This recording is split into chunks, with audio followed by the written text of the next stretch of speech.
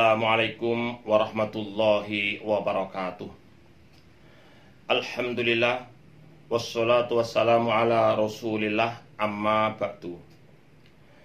Kaum muslimin yang dirahmati Allah Hari ulang tahun kemerdekaan Republik Indonesia pada tahun 66 Bapak Presiden Soekarno memberikan suatu kata-kata mutiara yang ringkas dan padat, yaitu jas merah.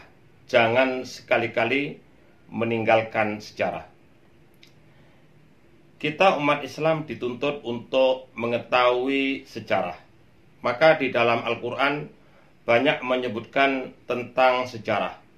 Daripada sejarah Nabi Adam, Qabil Habil, sejarah semua nabi, sehinggalah sejarah Nabi Muhammad Wasallam. Sebagai warga Indonesia kita harus ingat sejarah kemerdekaan Republik Indonesia yaitu sejarah sebelum mendapat kemerdekaan dan sejarah untuk mempertahankan kemerdekaan.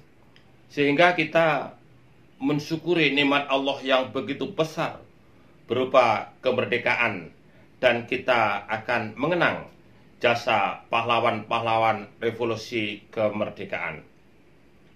Apalagi sejarah Nabi Muhammad Shallallahu Alaihi Wasallam, kita harus memahaminya dengan sepenuhnya. Ini disebabkan akhir-akhir ini musuh-musuh Islam telah mencemarkan nama baik Nabi Muhammad Shallallahu Alaihi Wasallam. Mereka menulis dan berkata tentang Nabi Muhammad seolah-olah mempunyai sifat yang negatif yang tak sepatutnya dicontohi. Antaranya mereka sebut Nabi Muhammad ini orang yang uh, buta huruf, orang yang suka berperang, merampas harta orang-orang kafir dan sebagainya. Sebagai umat Islam kita harus tahu cerita yang sebenarnya supaya kecintaan kita terhadap baginda tidak pudar, tidak tergugat sama sekali. Untuk itu, saya ingin menyampaikan sejarah Nabi Muhammad Shallallahu Alaihi Wasallam dari sebelum lahir sehinggalah baginda wafat. Sebelum Rasulullah Shallallahu Alaihi Wasallam dilahirkan kurang 50 hari, yaitu tanggal 22 bulan Muharram. Ka'bah akan dibinasakan oleh Raja Abruhah. Disebabkan Mekah dan Yaman itu sama-sama Arab. Tetapi di Mekah terdapat Ka'bah dan di Yaman tidak. Maka Abruhah membuat gereja yang megah yang besar yang diberi nama Kulais. Tujuannya supaya di masa akan datang orang-orang haji tidak lagi datang ke Mekah, tapi datang ke Yaman. Maka sesudah siap uh, Kulais tadi, Raja Abrohah memberangkatkan tentaranya naik gajah menuju ke Mekah. Sebelum tentara-tentara ini memasuki Mekah, Abdul Muthalib sebagai ketua orang Quraisy dan penjaga Ka'bah bertemu dengan Raja Abrohah untuk negosiasi. Abdul Muthalib menawarkan 200 ekor onta supaya Raja Abrohah membatalkan niatnya untuk membinasakan Ka'bah. Namun tawaran itu ditolak mentah-mentah dan Abdul Muthalib berkata, "Onta aku yang punya. Ka'bah ada yang memiliki, yang menjaganya. Yang akan melindungi Ka'bah daripada ancaman kamu. Abdul Muthalib terus balik ke Mekah dan mengarahkan supaya orang-orang Quraisy tidak mengadakan perlawanan terhadap tentara-tentara Raja Abroha. Sebaliknya mereka diarah supaya berlindung di lereng-lereng bukit sambil melihat apa akan terjadi terhadap Ka'bah dan kepada tentara-tentara Raja Abroha.